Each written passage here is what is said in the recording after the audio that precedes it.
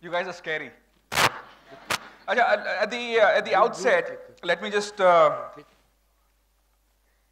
let me just be very, very clear in telling you that my session is not going to be half as interesting as, as Suresh's was. I don't have half his energy. Uh, you know, a very, very minuscule part of the experience that he has. Clearly, uh, you know, you're going to be disappointed. So it was, but I'm going to try my best, okay? I'm going to try my best by, um, by getting you involved in the conversation. So you, this presentation is, you and I are going to make this presentation. How about that? Sounds good? Okay, go ahead. What?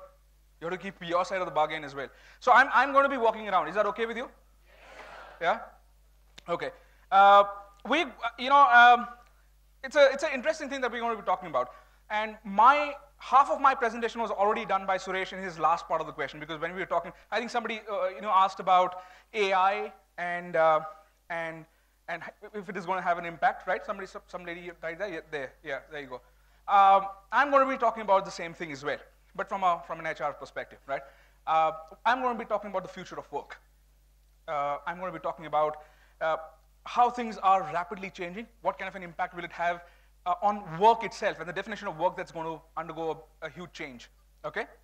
So, so keep me engaged, keep me honest, uh, keep asking questions. You don't have to wait till the end to ask any questions. Uh, just feel free to interrupt in between. I, I, I would really appreciate that. Now, uh, but, but I think uh, you know, it's important that I begin with a little bit of a you know, introduction. So while, while uh, you know, the gentleman there did a fantastic job of, of introducing me, but I, I think it's important for you to know that I, I'm associated with, with Bala sir for a long time. I, and, and, and I was just telling, um, I think Kadam sir, that I, it's in a way I've completed a circle in, in the sense that I, I, I joined an institute where Bala sir was the director. I, I read Bala sir's books, and now I, I'm honored to kind of, you know, coming and talking to you in, in Bala sir's institute. So in, in, in more than one way, I'm associated with you. Um, that being said, uh, I have uh, roughly about 15 years of experience, uh, uh largely in the IT, ITES space, but I had the opportunity of working in, in manufacturing, okay? I, I, worked in a company called John Deere. John Deere manufactures agricultural equipment, uh, tractors, harvesters, and, and, and, and, and whatnot. And, uh, you know, I, and, I, and I think that in a lot of ways, manufacturing is the, is the backbone of, of, uh, of the economy. And, and, and, and you can challenge me and all of that. And, um, but unless you've worked for a manufacturing company, I think it's, uh, you know, will, it will not be a fair debate. But I think you should. Uh, uh you know, you if you really, I mean, not that you, you know, you, some of you already would have some, some experience, uh, and some of you are really, really looking forward to entering the corporate world. But I think it would be really, really important for you to spend some time in a manufacturing company because I really, really believe that manufacturing um, uh, is, is the backbone of the economy. But, but that being said, I, like I said, I, I worked in uh, you know, John Deere for five years. Uh, I was taking care of compensation and benefits. Uh, I was you know, working on creating um, a value proposition from you know, a concept called total rewards in the sub-Saharan African market. Uh, but because, believe it or not, but in the next 20 years, next 50 years, the world is going to be fed by the sub-Saharan Africa. Anybody who doubts that? Any, there's anybody who knows about the sub-Saharan Africa region? Anybody who knows what is sub-Saharan Africa? What, what part of, can you name a few countries in the sub-Saharan Africa region? Anyone?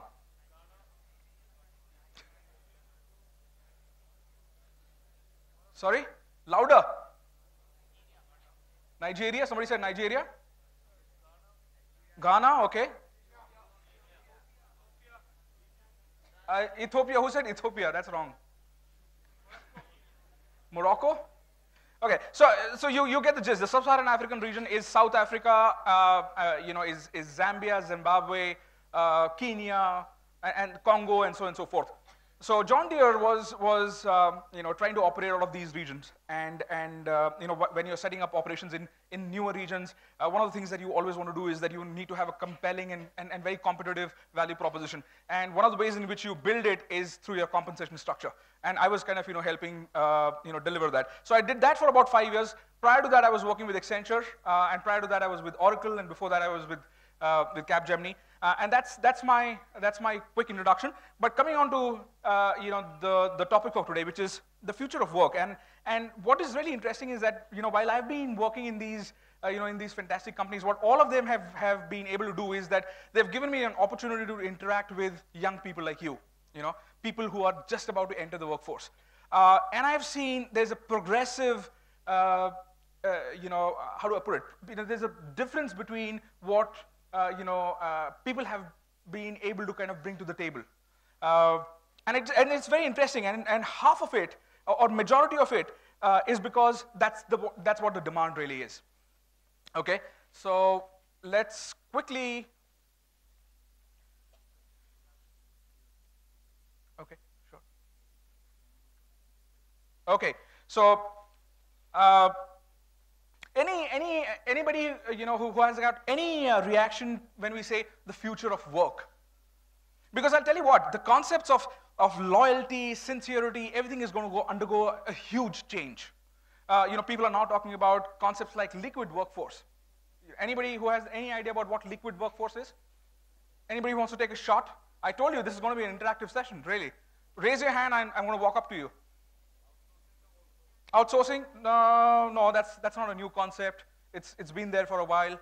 Uh, anybody else who wants to take a shot at what, what, what does liquid workforce mean? Sorry?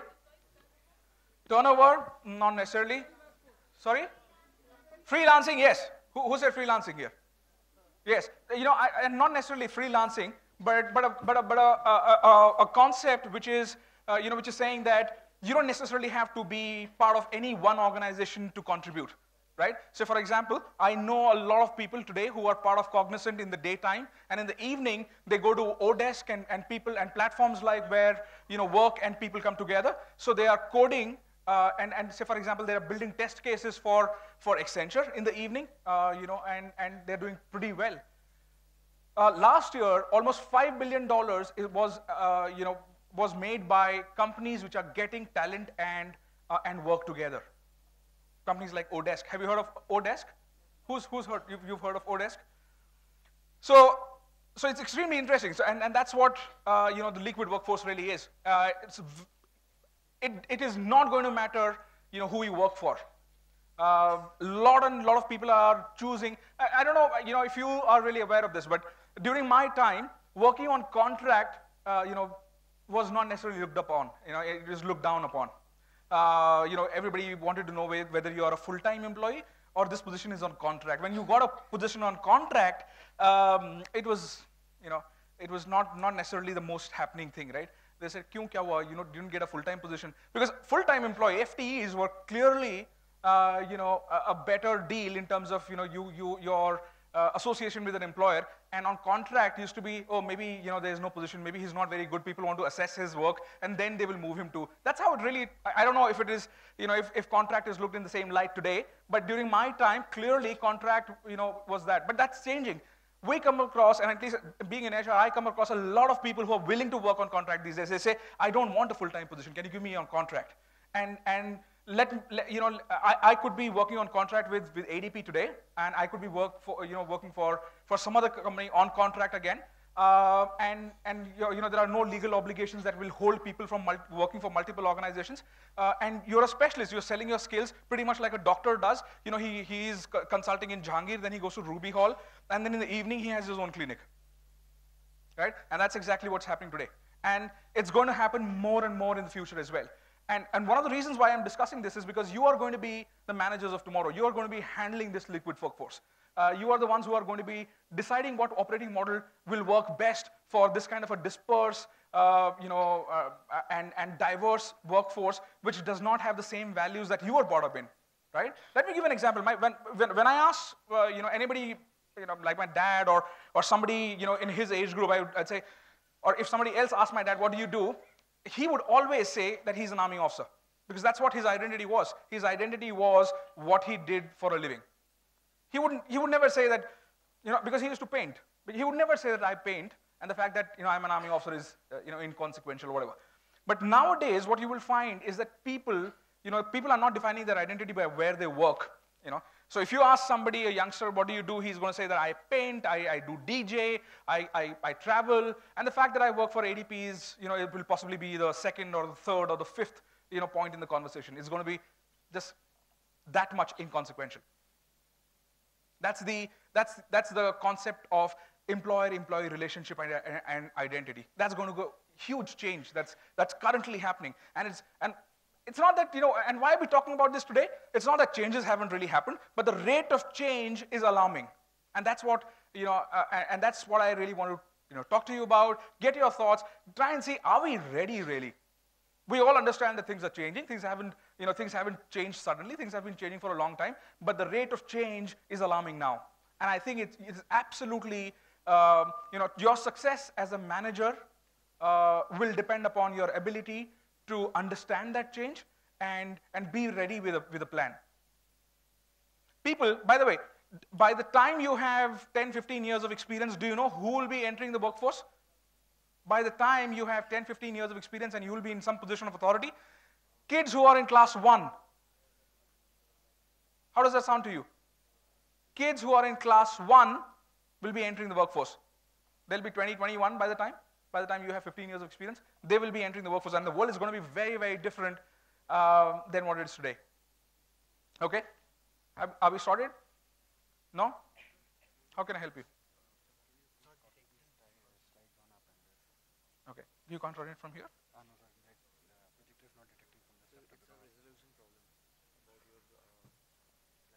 And why are we talking about this today? It's not that changes haven't really happened, but the rate of change is alarming. And that's what you know, uh, and that's what I really want to you know, talk to you about, get your thoughts, try and see, are we ready really? We all understand that things are changing. Things haven't, you know, things haven't changed suddenly. Things have been changing for a long time, but the rate of change is alarming now. And I think it's, it's absolutely, um, you know, your success as a manager uh, will depend upon your ability to understand that change and, and be ready with a, with a plan.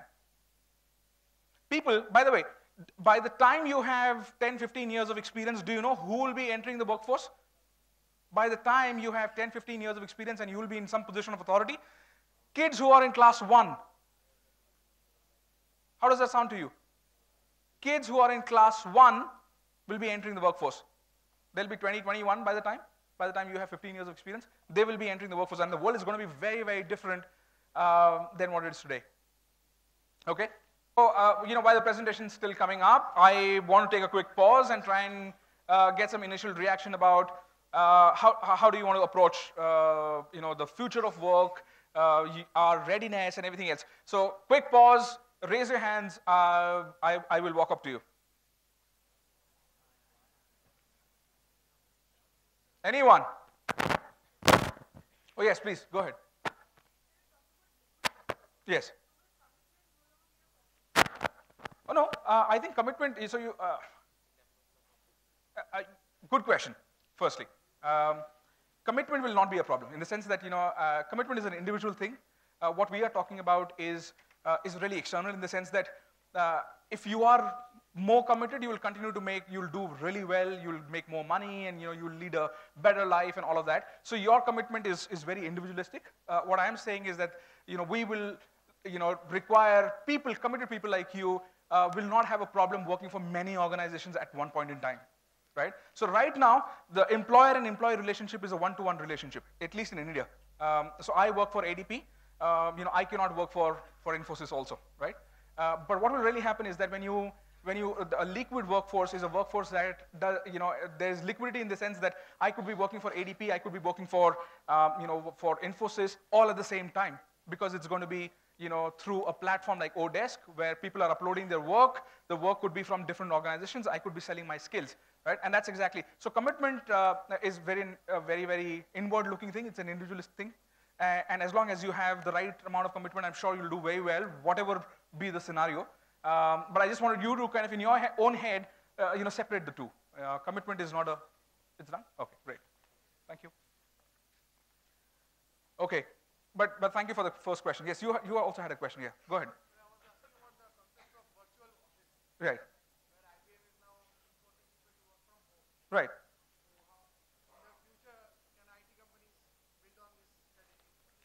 Oh yeah, absolutely. I think, and, and it's no longer even a, even a uh, newer concept. I mean, I think companies like Accenture, IBM, uh, and some of the other, uh, you know, companies in the US. So the question is about uh, virtual offices. Uh, home shoring as a concept uh, has been there in the US for a long time. In the sense that I know that you know in John Deere people work from home. Uh, there, there are virtual offices that you know collaborate. People people with similar you know in, in within a, a, vicinity come together in a business center, work there and, and, and go back. So so the concepts of virtual teams is is of course going to pick up. Uh, you know uh, and that is going to have a huge impact on uh, on on on managers' ability to project manage the whole thing. Uh, I, I was and very interesting. You can sit down actually. Um, you know, just before I came here, I was in a conversation with somebody where, and we were discussing how is it that, you know, the, the workforce of tomorrow, how will it be built on? What, on what uh, organizational hierarchy logic will, be, will it be built on? And, and, you'll be surprised. And we are seeing that happen today, right? Um, typically, and very conventionally, what really happens is that somebody who's at the top of the, uh, of the pyramid draws more money, and then, I'm just talking from a compensation standpoint, right? It's a top-down thing. People at the bottom make less money. As you go upwards, you make more money, right? I mean, that's, that's very conventional way of looking at it. But you'll be surprised that in, in, a, in a virtual uh, you know, world, what will really happen is that somebody who's driving the project or somebody who's supposedly at the top of the, of the pyramid um, you know, who's, say, for example, in India, there's a team, somebody is, you know, in, in Tokyo, there's, there's a few people in Tokyo, a few people in Hong Kong, there's some people in Dubai, and then there is, you know, a few people in London. You'll be surprised that somebody who is supposed to, you, supposedly responsible for the entire project to come together and deliver value will possibly be making the least amount of money from all other specialists who are working in different parts of the world. And that's, that's uh, going against the traditional understanding of what org hierarchies are supposed to be uh, from, a, from a very compensation standpoint, right? Uh, and in, purely in terms of importance as well. Uh, you know, and uh, you know, org hierarchy, the way it is really looked at, somebody at the top of the of the org hierarchy is supposedly uh, supposed to add more value, uh, you know, by the work he does, really. Uh, but that's not necessarily going to happen in the future as well. So, but but great question. Keep them coming. A anybody else before we move on? I saw yes. Yes. No, no, not really. I mean, it's, but it is but yes, it is. Uh, you know, we, we have been so used to a traditional, uh, you know, uh, you know, workforce, uh, people who come to the office, they park their car, come here, sit in a desk, work, uh, you know, uh, the work is assigned to them and allocated by a manager. and, and that's so conventionally been, that, you know, been happening that a concept like, like, like liquid workforce is, is clearly disruptive. and I think, you know, and I know for sure because I worked for a startup. I don't know how many of you aspire to work for a startup. Um, but you will see a lot of the startups have already started utilizing uh, liquid workforce. So great question as well. Yes, please.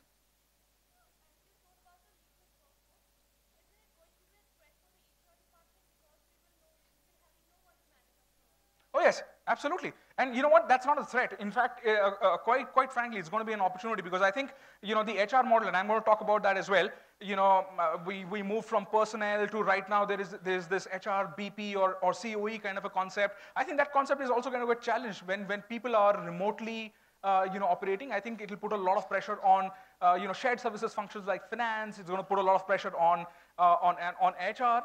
Uh, to change their business model to kind of ensure that you are already you're always getting um, you know uh, ahead of the you know uh, ahead of the game in terms of getting a pulse uh, trying to understand, uh, you know, what, you know, what's really happening in the organization. I think you, we will have to change as well. And that's, uh, so thank you for it because it's, it's going to be part of, you know, one part of my, my, you know, presentation in the sense it's one of the slides on what kind of HR models will be there in the future as well. So, but great question. Yeah, I saw a hand going up there, but I, yes, please. You just scared me, by the way.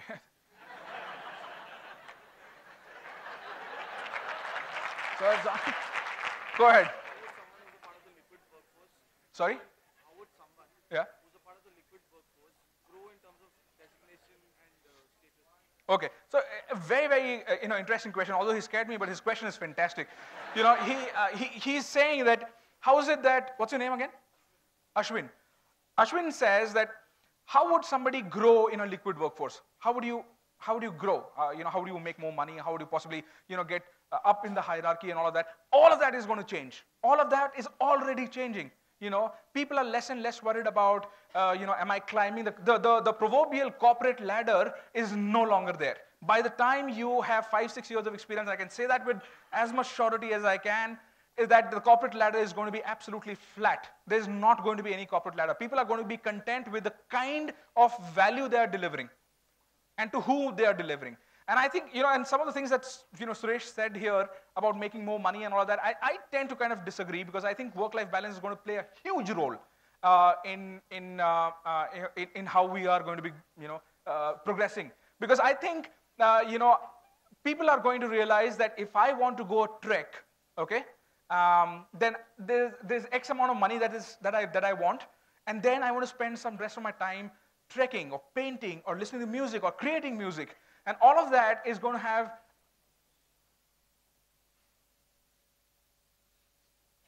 something going on there?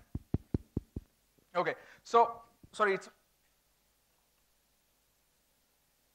no, it's extremely distracting. Half the population is looking that side. So clearly he's more handsome than I am, but still, I'm the one who's speaking. Is that, sorry, are you going to be coming and talking? Okay, as long as I don't have that threat. Okay, so now, like I was saying, I forget what I was saying though. Uh, sorry? Work-life balance, yes. So uh, contrary to what Suresh said, I think work-life balance is going to be extremely important. I think people are going to take that chance of saying that, listen, I, I'm going to work for, and by the way, I, I, I, it's a very, very interesting thing that I want to share with you this, morning. uh, this morning. I, I, I went to uh, leave my son at school, and uh, he's two, he's, he's just going to the play group. And I bumped into a guy who, uh, you know, who I usually play tennis with, and, and I said, where are you coming from? And he says, you know what, last night, uh, you know, I was, uh, I was called by uh, a private party because he's a part-time DJ, and, and, and he also works for uh, some company in Hinjewadi, I think, or, or a startup, I don't really know. And, um, I- you know, and, and when somebody asks him, what do you do? So clearly his interest in music is so much that he's always talking about his DJ. So I clearly, I never knew that he worked for a, for a corporate as well. And he works for a BPO. I, you know what, I want to take a chance and say it's maybe WNS. But the fact that I don't know, and I know him for the last two years, I've been, you know, interacting with him every, you know, every weekend because we play tennis together. But I've never known that he works for, for WNS. And you will be surprised that he makes about 13,000 rupees for private parties per night for four hours of work. So if, and, and just imagine if he works, and, and, and if that's really what he wants to do, he will work for 10 days in a night and possibly make more money than he could ever make working as a call center executive in, in WNS. You with me? Yeah. So I think uh, you know corporate ladder and what what people would really want from uh, you know from a job is is also going to undergo a change, and therefore people are going to find newer meanings of you know what it, what it means. What, what do they want from a job? And in fa- eh, coincidentally, that's my second slide. And and you guys are great. Have you seen the presentation before? Because you seem to be asking all the right set of questions. It's as if I've planted you. Yeah. Okay. Excuse me, sir. Yes, please. I'm sorry to interrupt. Where where are you? Oh hi. Sir, can we say that uh, Ola and Uber are already working on liquid workforce because the same person is working for Ola, Uber, TFS, and XYZ, every other cab service provider? Yes. So, sir, uh, there comes the question of you know commitment, as she mentioned. Mm-hmm. Plus, uh, if a if a driver develops some favorism for one particular company, productivity for the other decreases. Don't you think that because he won't be willing to work for X company if Y company is providing better services or better incentives to Right. the uh, the cab driver. Yes. So how can we tackle that? Is, is it not a problem when we talk about liquid workforce? Oh, no, it's, it's, it's an opportunity. It is great. It's not a problem at all. I mean, if he finds value in working for one company, sure, go ahead. But the opportunity exists for him to work for many companies uh, at one point in time. Can you imagine a situation if there was a contract signed between Ola and that driver that he cannot work for anybody else? You know, he would feel so stuck, isn't it?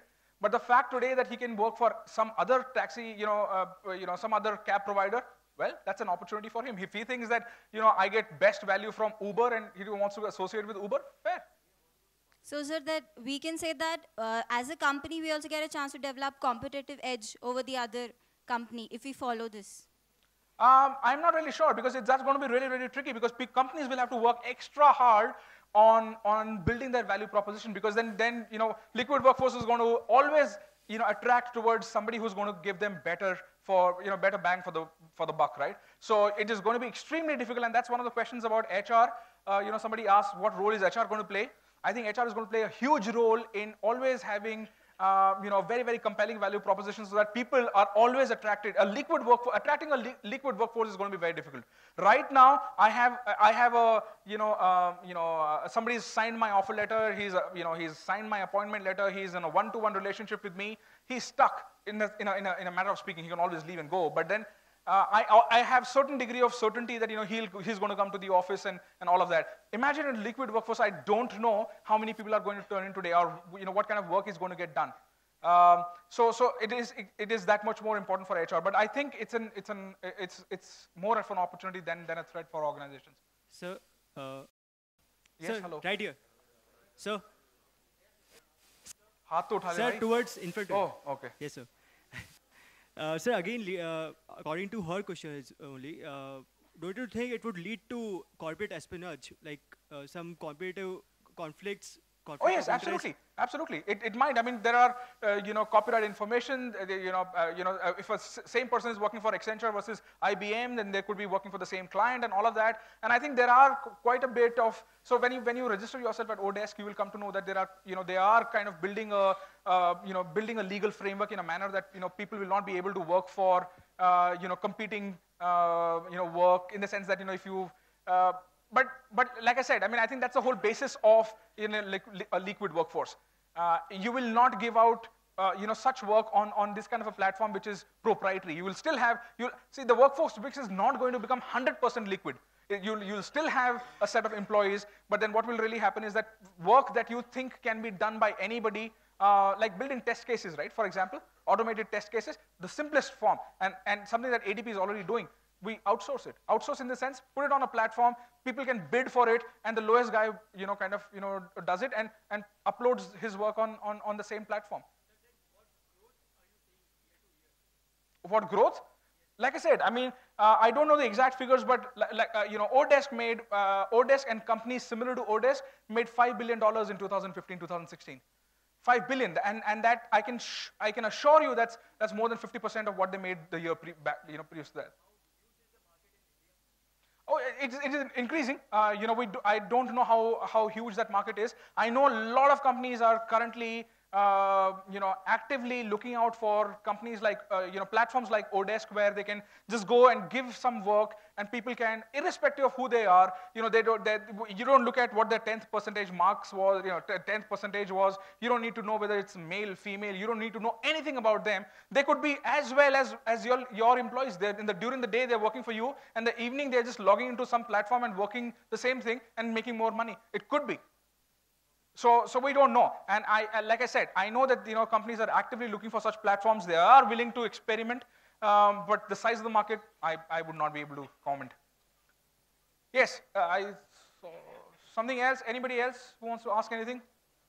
Okay, so after about yes, बोलिए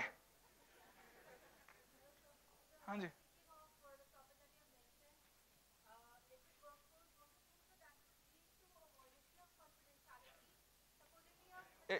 no आप हाँ जी let me complete my sentence sorry thank finance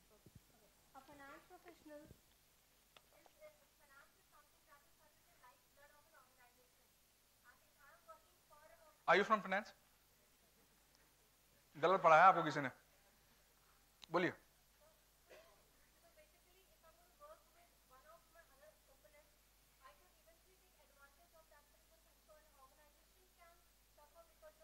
Absolutely. Yes, it will. And that's why I'm saying that you know not every kind of work will be there on these kind of platforms.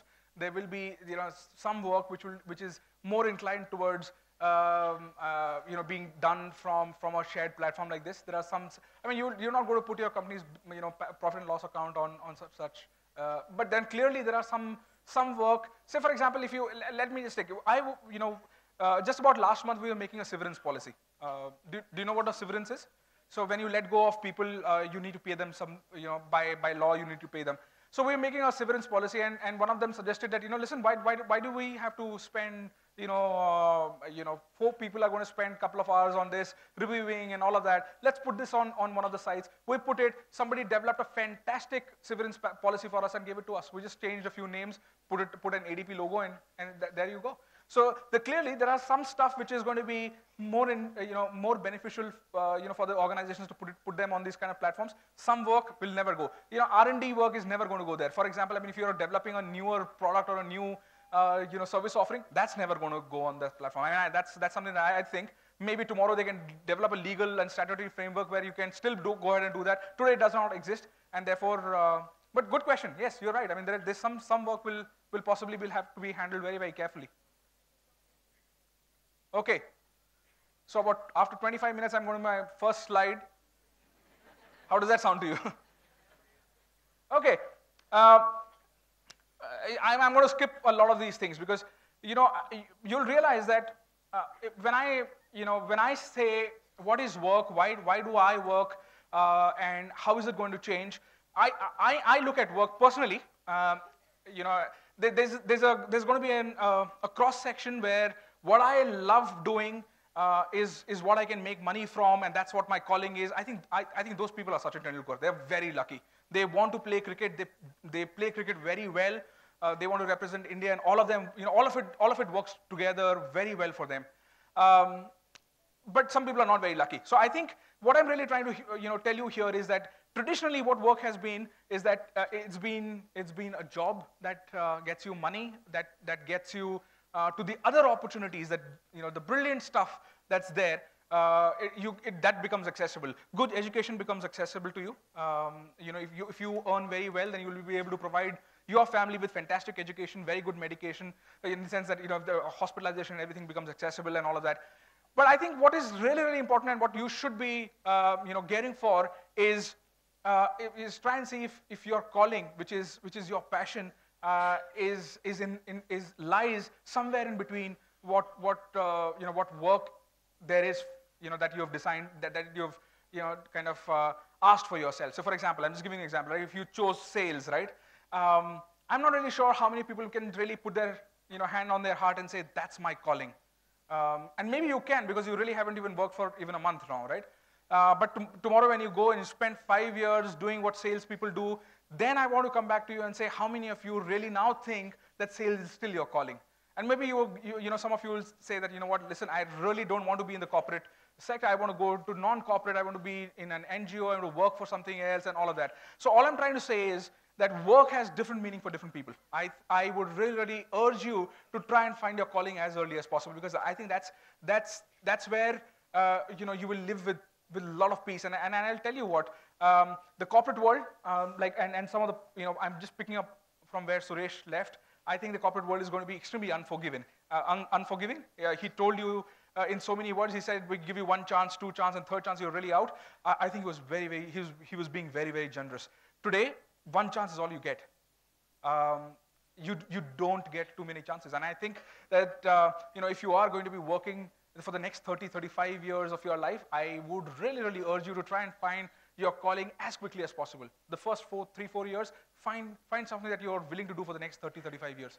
Um, but having said that, let's move on because work is great because work gives you uh, access to something, you know, something really, really brilliant. It gives you security. It gives you survival. Uh, you know, your survival depends upon what you really work and how, what kind of money do you make and, um, and all, all, the, all the great things, right? Creativity, satisfaction of creating something new. Uh, it gives you friendship. It gives you security, acceptance in the society. There's status. Um, you know, like Suresh was saying that, you know, he, his son feels proud where he works. Um, you know, and I'm sure that's true. And, and, and although, having said that, uh, the basic theme of my talk today is that how that is going to change.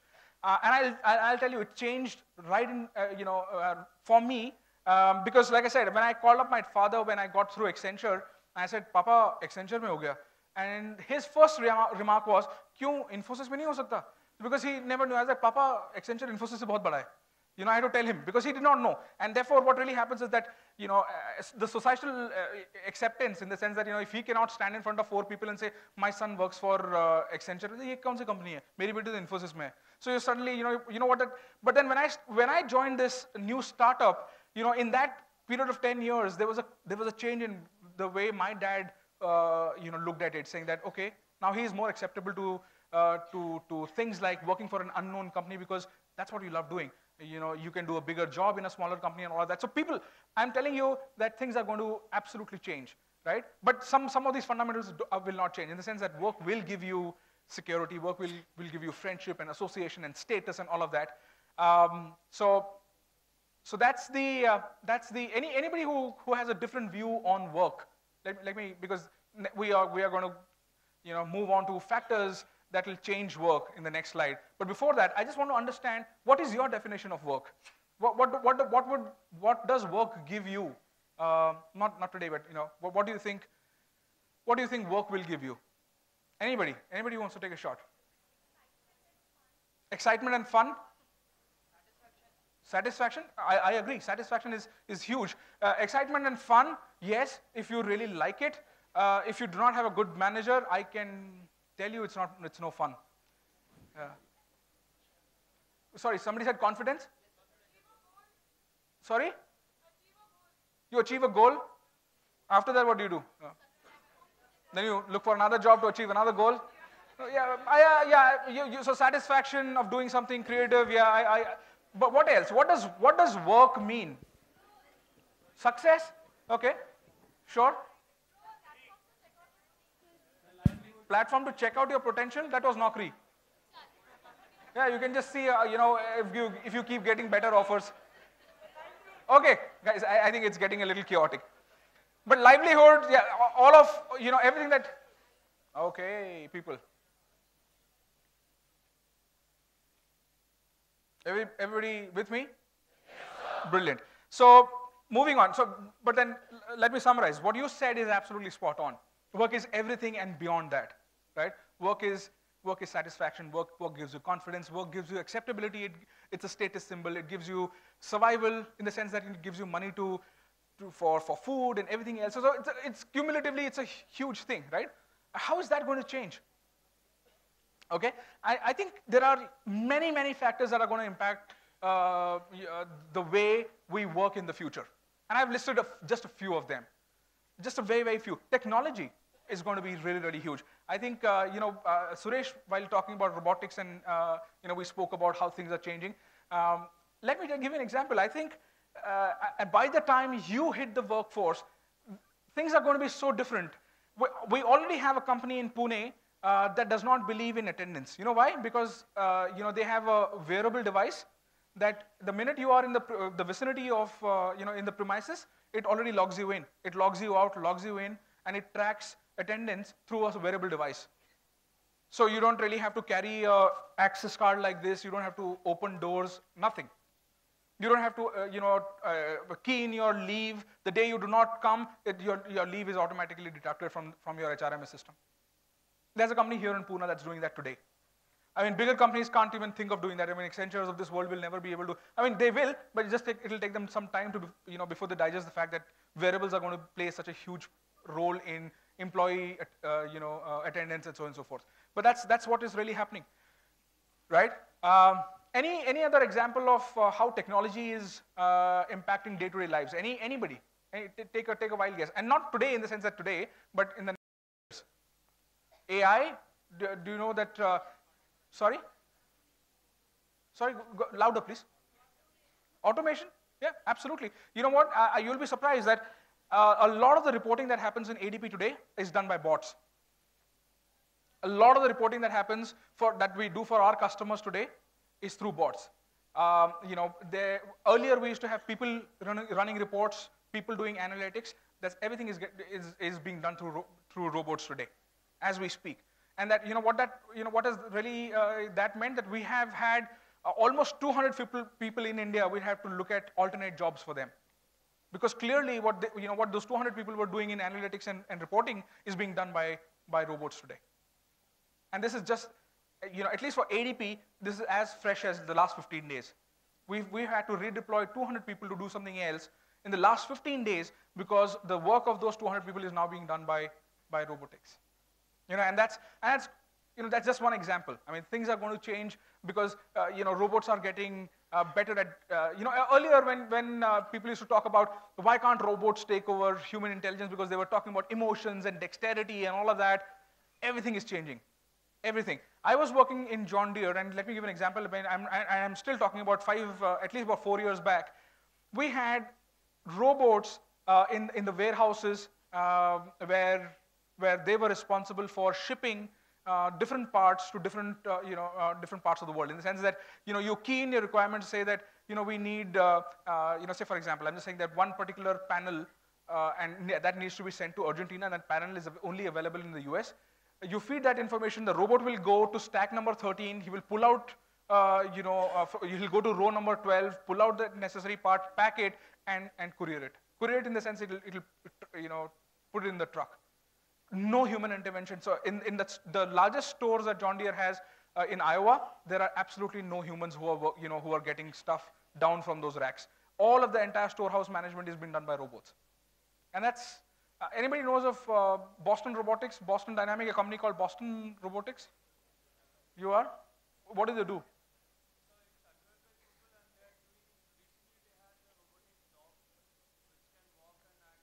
And follow, yeah. So anybody saw that video on YouTube? It's there on YouTube.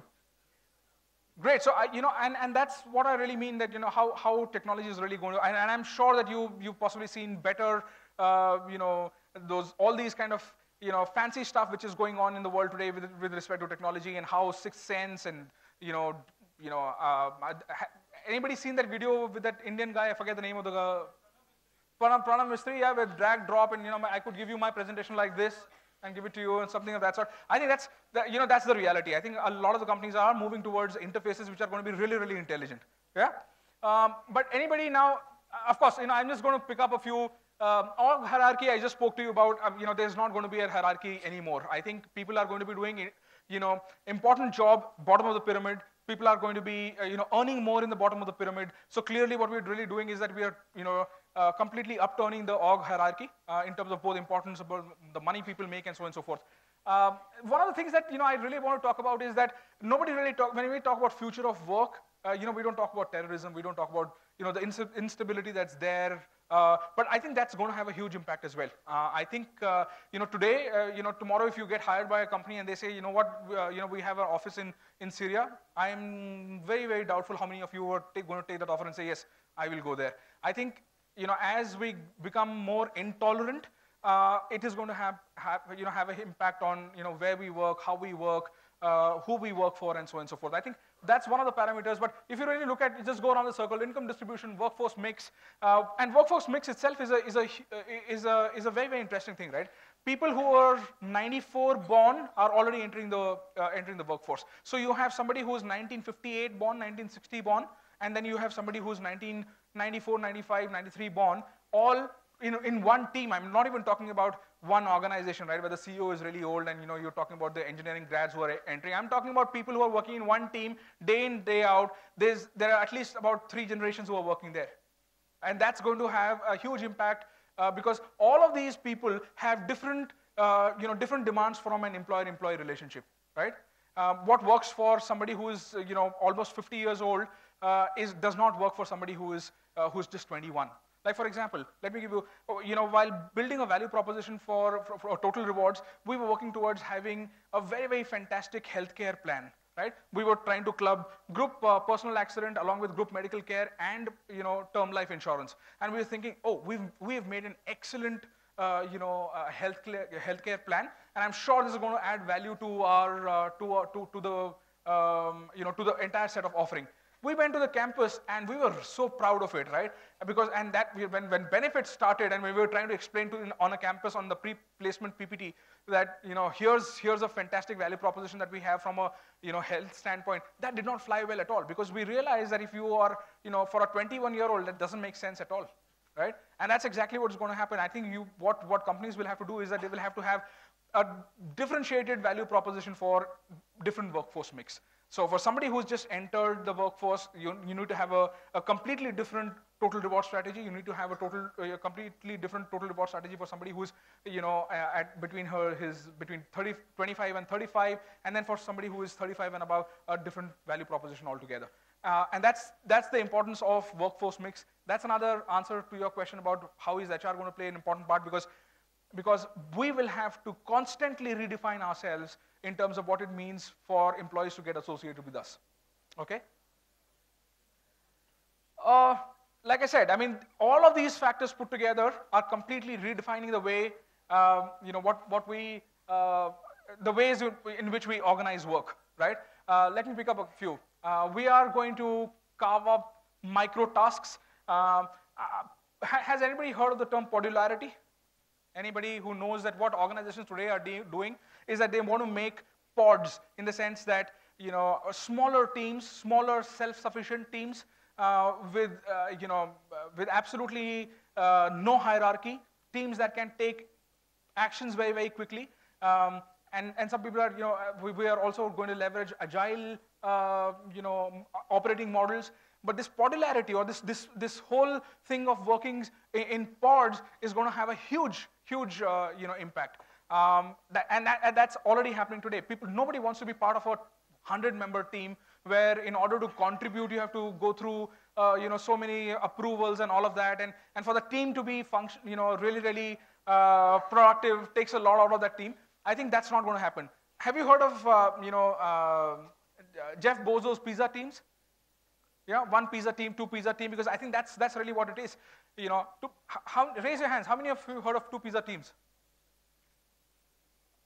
Somebody said yes, sir, or हाथ भी नहीं खड़ा कर रहा भाई. हाथ खड़ा करो. You, you, you have one person. So, so I, I don't know, uh, you know, so go ahead, uh, you know, when, you- when you go back uh, to, to, to your uh, rooms or, or classrooms, you can go ahead and check out what Jeff Bezos meant by, by pizza teams. I think the most uh, productive teams are going to be the ones that are 10 to 12 people. Uh, people who have the, uh, uh, you know, people who- will have the wherewithal to take all, all sorts of decisions, decisions that impact the end customer. Uh, and that's going to be the work, the way we are going to, uh, you know, uh, carve up work in, in, in micro tasks, right? Very quickly then, um, we are going to blur boundaries between disciplines. Uh, and I, and I uh, you know, uh, and I remember that, uh, you know, Suresh was talking about um, uh, Coursera. How many of you know what Coursera is? How many of you know Khan Academy? Yeah, so uh, have you heard the term MOOC? massively open online courses. I think that's completely redefining the learning and development function in, in, uh, in, in many organizations. In fact, it's doing that in my organization. Our learning and development function relies very, very heavily in subscribing people, subscribing people to, to Coursera, to Khan Academy, and, and this is, you know, and that's the, you know, a blurring of, of, uh, uh, of boundaries that, that I am really talking about, where people have uh, their, people have the ability to, to, uh, you know, structure their own career growth, right? Uh, I want to be in marketing today, tomorrow I want to be in finance. Sure, go ahead, do that. You know, build your own capability because degrees are going to have lesser and lesser meaning going forward. Okay? Okay. Uh, very quickly then, uh, what is this going to do to the organization? Organizations are, of course, going to be flatter with small global and virtual collaborative teams. There is going to be huge worker autonomy, uh, decentralized with intelligence on the edge, emphasis on agility, open collaboration, network dissolution of firms. Uh, all of this is going to happen, and all of that is already happening. Okay? Uh, I'm going to take a pause now because I see, I see a lot of, uh, uh, what do you say, restlessness. So um, let's calm each other down. What do you say? Because when you're restless, I get restless. So any questions? I'm going to take a pause now. Any questions on what, whatever we've said, heard so far? Because like, you, like I said, I don't know if you remember, but uh, you and I are going to make this presentation, right? So I've, I've been doing all the talking. Now somebody else has to get up and, and do some bit of talking. Or I'm going to start picking up people. Maybe it used to be embarrassing to, when I was studying. I don't know if it is embarrassing now. Yeah, because things have changed. Yeah, please, sir. Thank you. Yes, you had a question.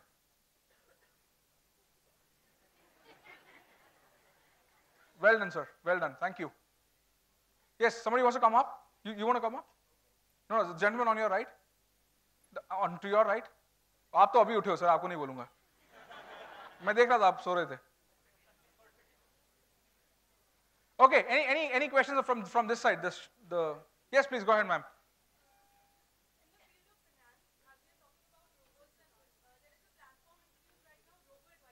Uh-huh. Okay. That's right, yes. Absolutely.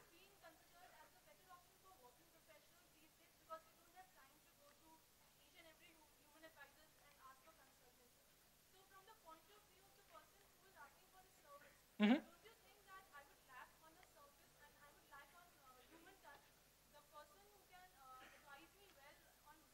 Oh no, absolutely not. I, I, I don't know. Uh, nobody misses going to the banks these days, right? Because there's mobile banking. I don't, I don't, I don't crave for human touch because I have a family, I have friends, and I, you know, uh, some strangers' uh, companionship is not something that I, I really want.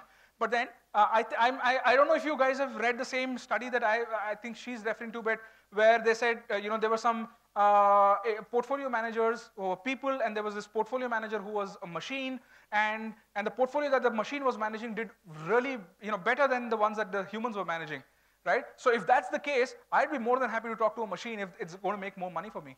Uh, right.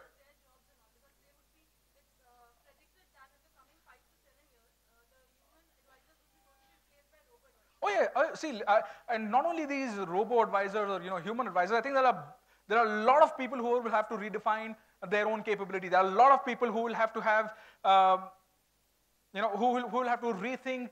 Uh, they will have to unlearn and learn new skill and so on and so forth. Because, um, like, for I don't know if you've uh, you know uh, if you've read uh, Machines. There's, there's a book, and that book says that you know one of the one of the few people who are going to be losing their jobs. You will be surprised is a radiologist, for example. Uh, somebody who reads reports and says, you know, what, you know, and puts a diagnosis together. Machines have, have, have had the, uh, the uh, better predictability in, in, terms of that they make lesser mistakes, they're more accurate, they're faster. So somebody who's as qualified as a radiologist will possibly be losing out their job. So, so you're right. I mean, people are going to, you know, will have to differently skill themselves. Otherwise, you know, uh, there are certain, certain jobs that are going to be more vulnerable towards uh, you know, bots taking over. That's absolutely right. Yeah. Good question. Anybody else? Hanji.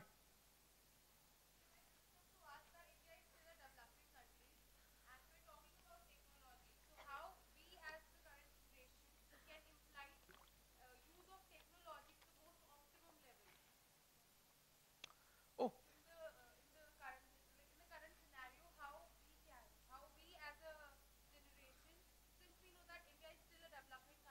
Right.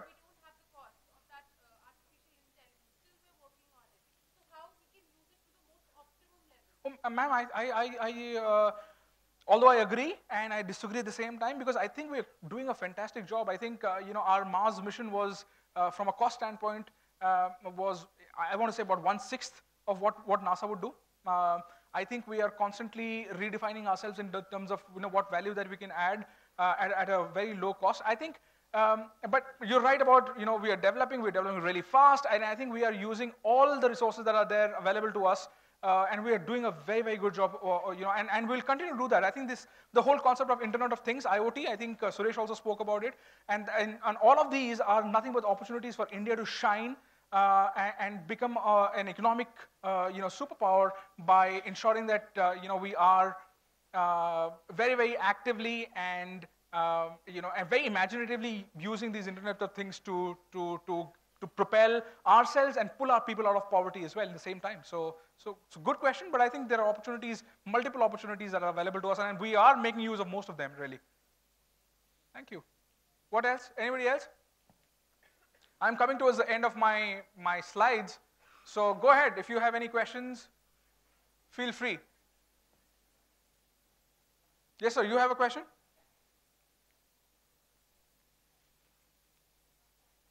I'm pointing towards you. You know, you know it when I'm pointing towards you, don't you? Yes. Please, aisa mat karo I was there in your place not too long back. So when somebody looks at you, you are dead sure that he's looking at you, but you don't want to. Isn't it? Now you have to ask a question now.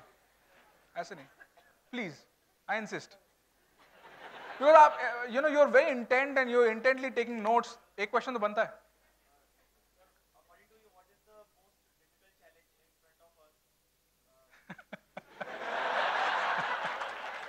I think, you know, I, according to me, the most difficult challenge in front of me right now is keeping this huge crowd engaged. Uh, but go ahead, complete your question.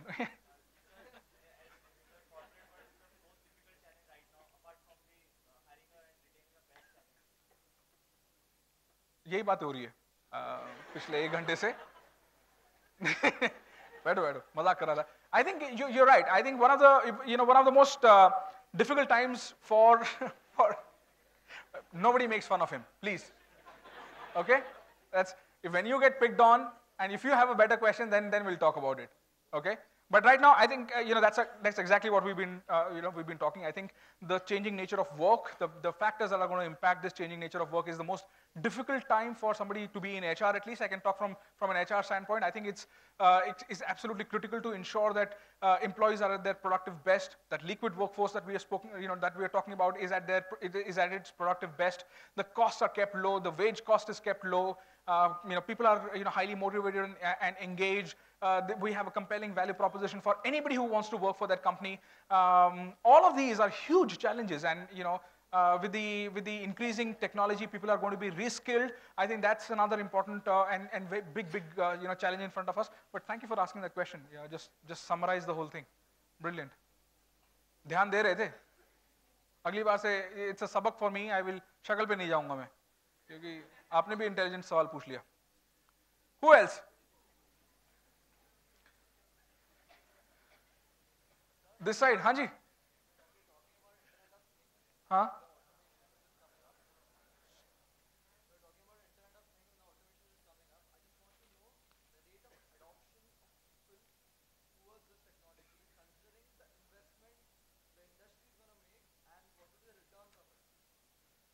Well, good question. I, I, I don't I think I'll be able to intelligently answer that question, but let me just give it a shot.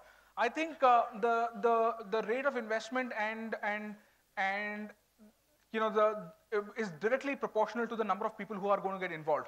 Uh, and I'll tell you what, internet used to be really, really expensive to sit down and work, right? Do you remember the time? I don't think you, you would remember the time, but when I was growing up, I remember the time when I used to go and sit on internet cafes uh, and it to cost, cost quite a bit, about 100 rupees an hour, then it came down to 50 rupees, then it came down to 20 rupees. I think the more, the, you know, the more people are drawn towards uh, uh, you know things like IoT. People want to build up their own stuff. People want to uh, you know simple stuff in the uh, you know in the household if they are able to connect to the internet and do stuff along with that. I think the um, both the, the the cost of it and uh, and the ROI from it uh, is going to get positively impacted. And that's really on how you know how do we make it um, common? How do we make it you know what are what are some of the things that we can uh, do to ensure that it is going towards, uh, you know, most people are able to pick it up and run with it. I think that it will depend upon that. I don't know if I've answered that for you, but, but I've made an honest attempt.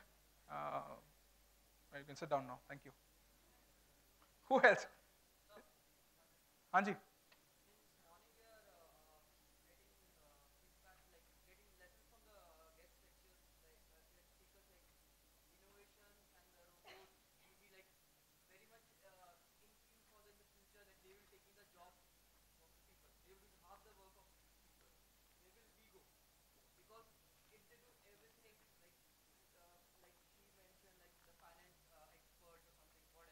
Right.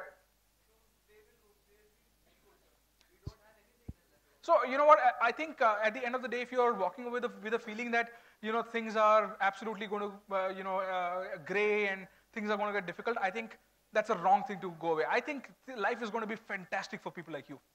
I think machines are going to be do- doing the job that you don't want to do any which ways. It can. It can. It hasn't happened so far. You know, everything that's happened so far has worked in, in our favor. It's made life, uh, you know, better for us. We are living longer. We are living healthier. Um, you know, we are doing more stuff that we want to do. There are more people running marathon and more people who have picked up photography in the last 10 years than they've, they've ever been.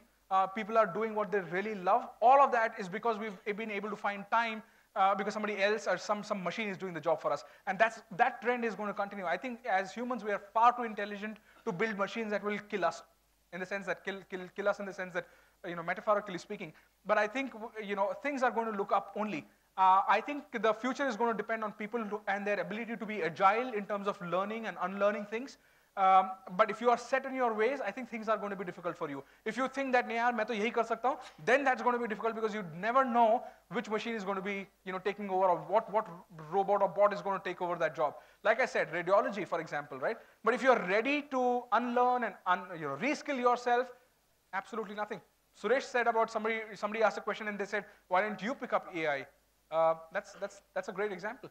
Uh, but, but, but if you are going to be walking away, at least from my session, if you're going to walk away thinking, you know, andhera hi aage, then that's not really how it is. That's not what, uh, my, my whole intention is to try and tell you that things are going to be difficult in the sense that things are going to, uh, you know, change. The rate of change is going to be, from a work standpoint, rate of change is going to be tremendous. Uh, work is going to change in the next 15 years more than it has changed since the beginning of, of humanity. I think that's, that's for sure. Um, but if, that, if you think that that change is not going to be good for you, then I think that's not the message that I want to leave you with. I want to leave you with the message that be ready. Uh, as, as people managers, you will be uh, you know, responsible for all that work that will be get, you know, that will be getting done, right? Be ready for it, be prepared. That's what the topic of my conversation really was that, you know, the, the future of work and our readiness or the lack of it, right? Um, so I do not want any one of you to go away with the feeling that, you know, it's all, uh, you know, all these industry guys are coming and saying it's all dark. It's not. It's, it's going to be fantastic. People are going to be, uh, you know, leading a healthier, longer life. What else? Yeah? Yes, ma'am. Go ahead.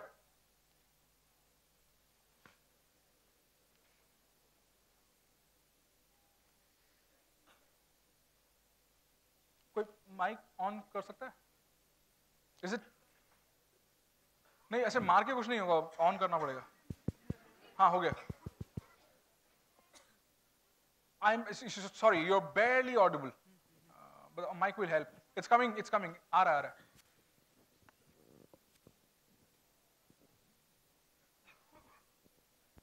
First of all, good evening, sir. good evening Uh, my name is Jaya and I'm from BIMHRD HR batch. Now, I want to ask you, with this rate of change in the definition of work, what would be the plan for compensation and benefit? How we have to design our compensation and benefit system for this uh, new work definition account? Uh, very good question, and absolutely brilliant. I think um compensation and benefits is anyways changing. I don't know if you, um, you know, I don't know what, what, what is there in the curriculum these days for, for HR batch, but I think it's called total rewards. Uh, you know, we are moving from a, from a, from a compensation concept to, to, to total rewards where we are talking about holistically what do companies have to offer, not only compensation, but we're talking about benefits, we're talking about wellness, we're talking about all of those other things. Um, but I think that's, that, that, that is also uh, undergo, uh, is going to undergo a huge change. Uh, you know, we are talking about on-demand compensation today. Uh, I don't know if you've, if somebody has already spoken about this, but there are companies in the, uh, in the world today that have moved to a concept of on-demand compensation, right? Uh, like for example, you have something called as real-time performance appraisal system. I don't know if you know about that, where there is not, there's going to be performance appraisal throughout the year. If you think today that you've done something credible, uh, you know, why don't you go ahead and key it in, your manager will comment it then and there, and it will get grayed out, which means that you will, in a, in a snapshot, you will capture what you felt and your manager felt at that point in time. So tomorrow, if your performance shoots up or goes down, it will not have an impact on what you did on 29th of August. What's the time? What's the, of July? Right? It will not change that. But that's real-time performance appraisal. We are also talking about real-time compensation. If you need money today, uh, you know, you can, you can go and click a button and, that, and some amount of money will get credited to your account. If you don't need money in the next two months, don't hit that button and nothing will get credited. So we are talking about, companies are moving towards real-time compensation, right? Uh, and like, like, like I said, there's huge changes that are happening in the way we function. Uh, if, if work is going to change, clearly, you know, how we, how we uh, you know, reward that work will also change. But great question. Keep them coming. Anybody from these gray suit people?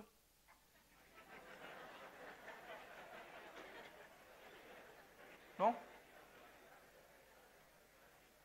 अब मैंने you know since I pointed out इज्जत रखने के लिए तो एक question बोल बोलना चाहिए How is this uh, this one line of gray so different from the Sorry? Different institute?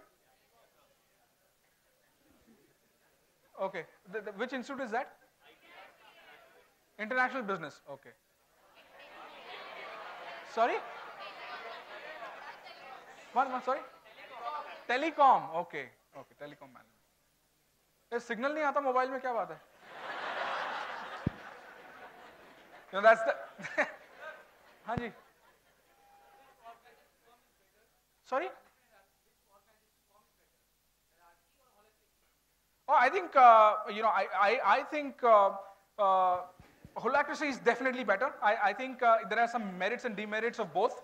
I think uh, there is clearly, uh, you know, for all this while, organizations of the past, the GEs of this world, and you know, the John Deeres of this world have, have relied on a strict, you know, hierarchical approach. But I think, like I said, going forward, you know, you need to be extremely agile. Um, and, and, and to aid that agility, we are talking about uh, smaller teams. We are talking about teams that can take independent decisions, teams that can have, uh, you know, uh, the, the, all the wherewithal that they want, finance, uh, you know, HR support, and all of that.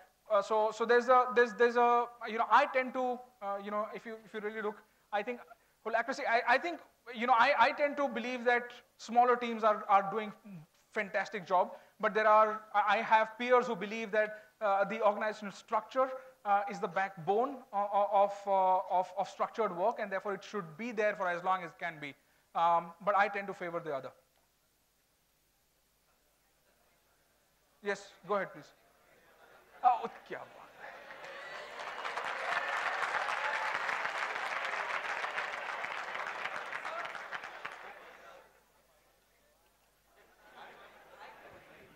Mic दो भाई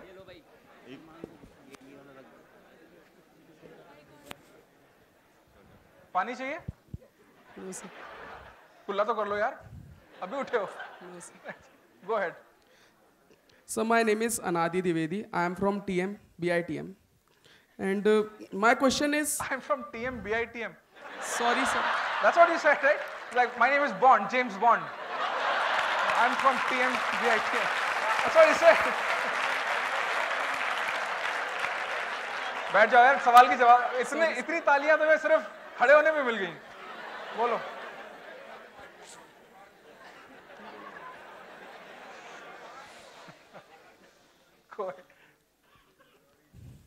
So my question is that should this artificial intelligence system completely work in India because it is not applied in major part of the nation it generally applies to tier cities of the country so in next upcoming twenty years what is the scope of totally coming this uh, whole that should it completely change the system in our country?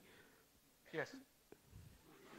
It should. You know, I, I think uh, success of, uh, of, of any technology or, uh, you know, the success uh, would, would be on, you know, what is the reach really? So uh, if, it, if it has to be successful, if it has to make any meaningful impact for India and for Indians, it has to reach, uh, it, it has to reach a wider audience. You just cannot have any, whether it is artificial, intelligence or if, it is any, uh, you know, even a banking product, right? If, it is not, if it does not reach, uh, you know, a large part of India and the Indians, uh, it, it remains absolutely meaningless. So the question is excellent, sir. Thank you so much. What else? I am. Yes, I, this is a very interesting thing I found out. You know, when, when I was preparing for this, uh, you know, this, this uh, talk of mine, I was saying, what are going to be some of the jobs of the future, right? And, and, and, and some people said, you know, you know, everybody who's been talking since morning has already been talking about how dark it is going to be, but it's not. Like I said, there are some jobs that are going to be there in the future which do not even exist today. Some of them do. Chief Experience Officer, uh, you know, the startup that I was working, uh, you know, working in had the chief experience officer. But look at look at some of the other uh, you know jobs. Uh, augmented reality architect. Uh, there's going to be digital archaeologist, somebody who's going to find out, you know, like an archaeologist finds out digging up sand. Somebody's going to dig up the digital world.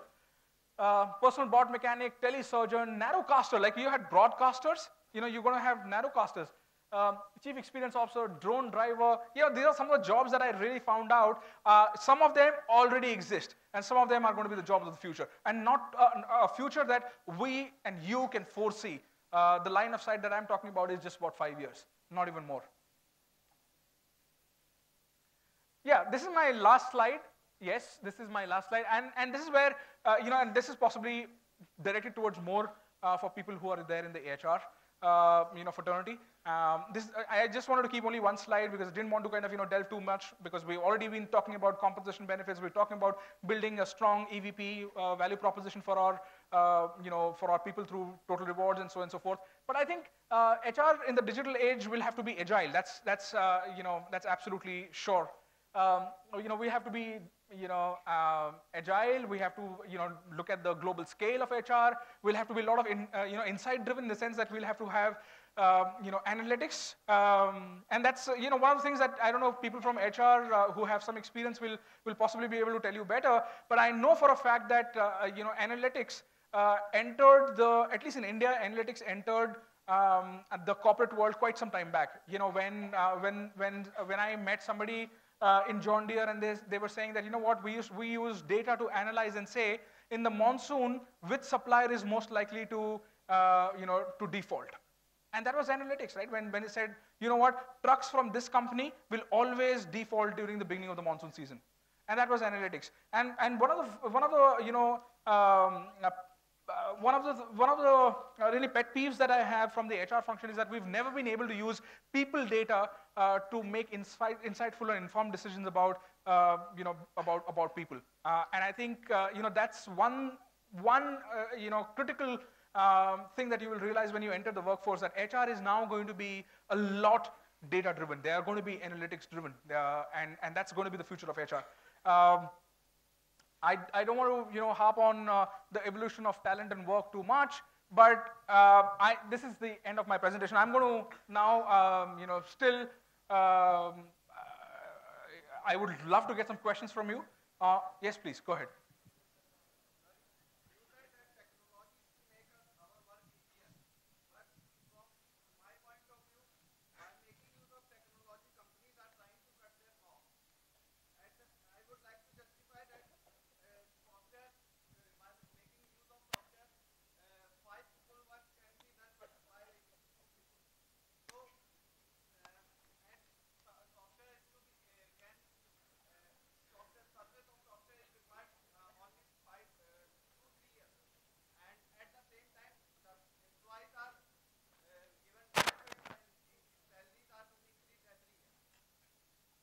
Question क्या है बड़े भाई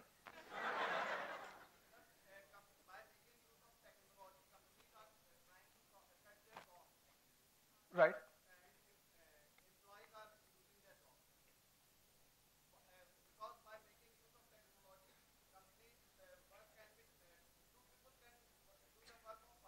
right yeah and and that's the reality really yes Company's cost is also? Yes yes and I, I think you know that's that's what companies are there for. I mean i mean so please uh, I, I i don't want to make any and i have no qualms in admitting that companies are there to make profit and that's not going to change. Uh, you know I, I, think we will have to change. We as employees will have to change. Uh, you know we'll have to look at newer skills. I, I cannot say this uh, more than what i've already said. I think uh, we will have to, you will have to be extremely open to the idea that you will you will have to unlearn what you've learned so far and pick up another skill in the next five years. Please be open. All of you if there's one message that i can leave you with is that please be please don't be headstrong on on saying that you know this is what i what i've learned to do so this is what i'm going to continue doing. I think you'll be in for a huge surprise. Um, i don't want to be i don't want to sound pessimistic but i think uh, whatever you said is right. I think people are going to be losing jobs uh, and that's going to be reality i think as an you know as as things pick up as as robotics and artificial intelligence and and and the whole concept of work undergoes a change people will you know, find, uh, you know, find that their jobs are, uh, are being under threat. So the best thing for you to do is react to it and, and, and uh, you know, reskill yourself. I, I, I really cannot uh, emphasize on this more. But you're right. I mean, I think companies are, have all the right to make more money. If it means that they're you know, cutting down costs, so be it. Absolutely. That would be the last question. Oh, you said that? Ashwin. Okay. Yes, please, go ahead. Sir, uh, uh, first of all, I must say this was one of the uh, best session for the day. कितनी बार कितने लोगों को आपने ऐसे बोला है? Sir, we, it's only me, uh, first time. Sir, and uh, sir, since you taught us the concept of this robots and uh, this liquid uh, workforce, sir, don't you think because of just one mistake by liquid workforce and, and the goodwill and the brand image of the company will be affected? Absolutely not. Absolutely not. I think, like I said, I think liquid workforce is going to be um, an, an addition. It's going to be a supplement uh, to the to the regular workforce. I'm not saying that the companies will have 100% liquid workforce. I think that's that's not what I meant. If if if that's what came across, then let me, uh, let me correct myself. I think what is going to happen is that the workforce mix will have regular employees and will have liquid workforce as well. Uh, I think what, what people will, people will still continue to join brands. People will still get a satisfaction from joining a Google or an Amazon. Uh, but then there will be people who will be extremely good uh, and, and less fortunate who will be willing to go on a platform and work for those companies by not being regular part of the, of the workforce of the, for that company, but just sitting at home and, and kind of working for an Amazon and a Google uh, in one night. That's going to So, be uh, fantastic. but uh, won't they be more of you know uh, quantity oriented than to be qualitative oriented? Oh no, absolutely not, because the companies are not going to be foolish, right? It's just because you logged on, you did some work, you're not going to get paid. You're going to get paid to do deliver good work. So if you if you know if you upload some you know some lines of code and the line of code is not good, you're not going to get paid. So I think people will do will do quality work and they will do it for a variety of people, and that's got, that's what's going to be fantastic, right? And that's going to be more gratifying than working only for one company. Uh, you know that's and, and and and and if you really you know talk to some people who are part of this liquid workforce, they'll say I enjoy my work. I, I can work at any point in time. I don't have to wear, uh, you know, uh, you know, uh, sets, uh, you know, uh, you know, set of clothes. I can, it can be from anywhere. I can be sitting on a, on a bean bag having chai on in, in, in Manali and still be working for a company that is strictly working out of Cochin, right? The company is in Cochin. Everybody has to go to Cochin to work there, but I work for that company sitting in, in Nainital, for, for all you know. Thank you, sir. Yeah? That ends the question and answer session. Thank you. Okay, guys, uh, thank you so much. I, I, I, I, I have thoroughly, thoroughly enjoyed interacting with you. And I'm sorry if I pulled a few legs. Um, that was uh, absolutely intentional. Uh, yeah, because I have, I've been at the receiving end sometimes. You know, I, I, a lot of the times when I was, I was in SIMS, I, I, I used to be the sleepy one, so I got picked on quite a bit. So um, I'm just, like they say, give it back, right, to the society. That's my way of giving it back. Thank you so much. I enjoyed it. yeah. Thank you.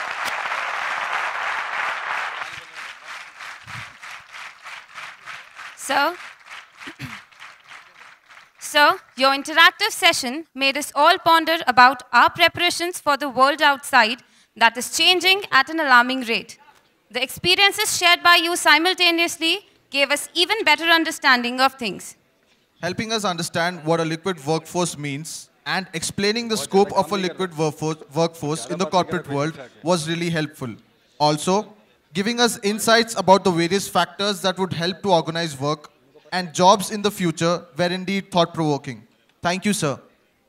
I would request Professor D.S. Kadam, Director, Project and Alumni Affairs to present a memento to our guest.